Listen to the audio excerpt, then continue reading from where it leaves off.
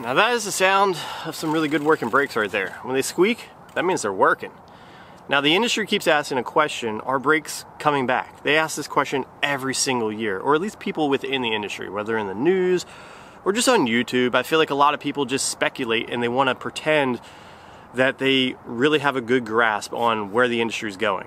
When in my opinion, I don't think that whether a rider puts on brakes or takes them off, if it's really going to sway the decision of the industry. I just think that riders get bored and they like to change their setup.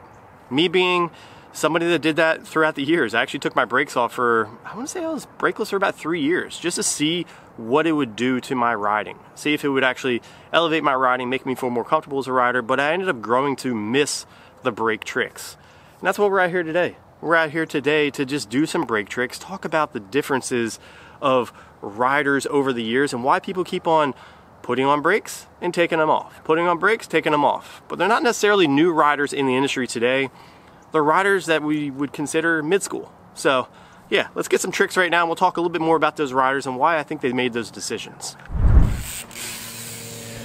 Now growing up, I had brakes on all my bikes. Actually, pretty much every bike that was ever sold had brakes on them. And that was the thing. Anyone that had a bike had brakes and we didn't really think to utilize them to do tricks until we saw riders such as like Dave Mirra or Bruce Crisman. That's from my era. So I'm more mid-school, so those are the riders that I saw doing brake tricks, which really inspired me to want to learn those things. It's not necessarily just doing the tire tap, which we're about to do right now, or just doing the fufanu. It's training your body, you know, the spatial awareness, not only to get up there, but then the timing for your legs as well as squeezing the brake and releasing it right on time. So let's do both these tricks right now and I kind of want to explain to you why I think these things are pretty crucial in today's riding as well.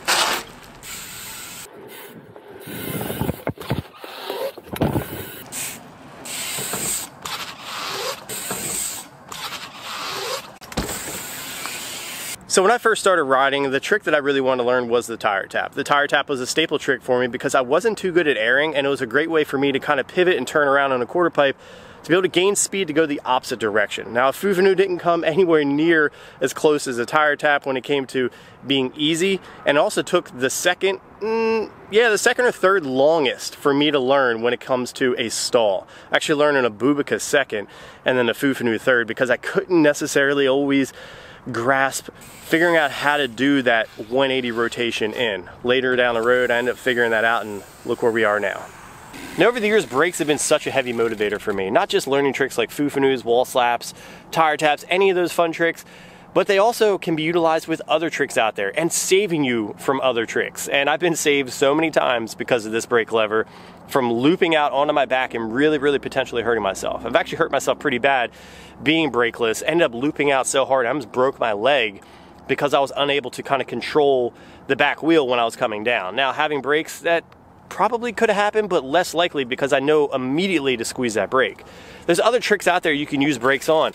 I mean, if I was coming up right now and try to go up this bank to land on this rail with two tires and then hop over backwards down that bank, but I got sketched out and I didn't have brakes, I would run into that rail so many times. Kind of pointless. But having brakes gives me that confidence to go up each time without having to run into that rail to be able to land two tire and hop over. Speaking of that, let's give it a go.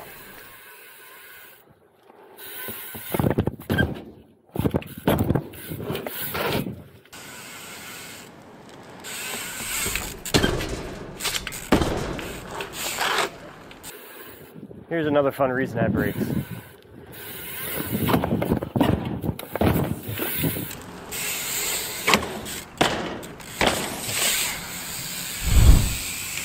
Now the possibility of brakes are just endless. That, that's always been the reason why I absolutely love riding brakes. Today is so cold out right now, like my hands are frozen. Even though I have gloves on right now, they're absolutely frozen. I wanna do bar spins so bad, but I can't even feel my grips or my brake lever enough to really kind of trust myself. We can still do some tail whips. That's absolutely something we're going to be doing here in a moment. But I just want to relay that I think that brakes aren't making a comeback. I think that the riders that always rode the brakes are putting them back on. If brakes made a comeback, that would mean that riders of today's generation would be putting them on in the masses. And I don't think that's ever going to happen, actually. A lot of the frames that are being sold right now don't even have the option to have brake mounts on them.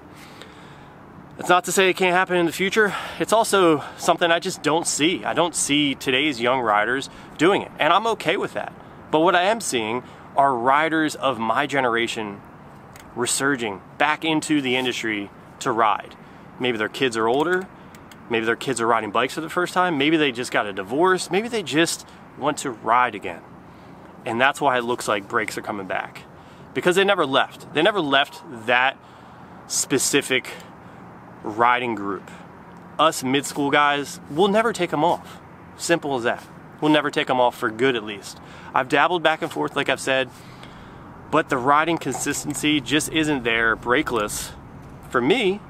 Maybe other people. I do know other people out there that are just so good brakeless, do Shubicas so good every single time that they don't even need a brake. Me, I need them and I absolutely love them. And it's one of those things that it's it's a it's a relic when you see it. I'm a diehard supporter of it, and I support anyone out there that wants to ride however they want to ride. Front brakes. I know a lot of you guys might be riding front brakes, but I just can't do it. I just love to foot jam. I'm not saying I can't ride front brakes. I'm just saying that you probably won't see it on this bike ever. Not that I won't have a bike, but I just, I just, guys, just love the foot jam.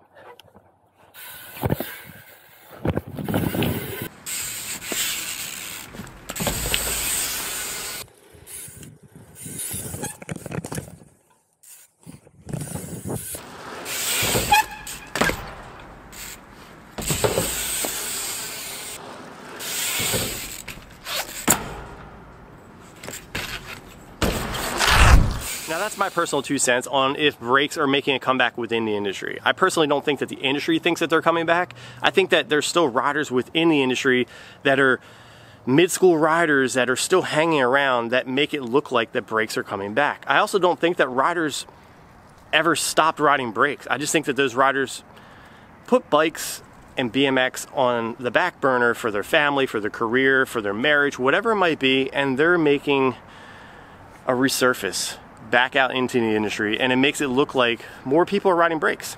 I think that if more people are riding brakes, then more companies would sell brakes. Um, I mean, companies that have always sold brakes still always will. Odyssey being one of them. You know, I absolutely love Odyssey brakes, always will run them.